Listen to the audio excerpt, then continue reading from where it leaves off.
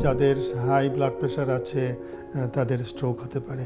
যাদের ডায়াবেটিস আছে তাদের স্ট্রোক হতে পারে। Psychologist can do a lot for depressed people যাদের নাকি ব্লাড প্রেশার বেশি আছে তাদের ব্লাড প্রেশারটাকে কন্ট্রোলে রাখতে হবে।